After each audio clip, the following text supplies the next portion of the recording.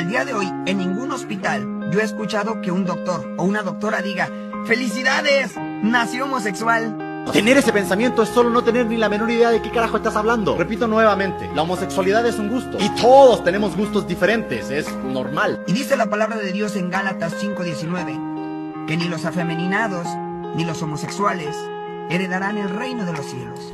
A ver, en ese libro también las serpientes hablan y hay un señor que camina sobre el agua. No creo que tampoco nos tengamos que tomar eso al pie de la letra.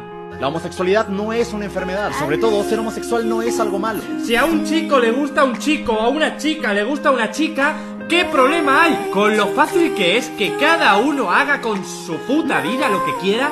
A mí me gustan los hombres, a mí me gustan las mujeres. Pues perfecto, disfrútalo con salud. Claro que sí, hostia.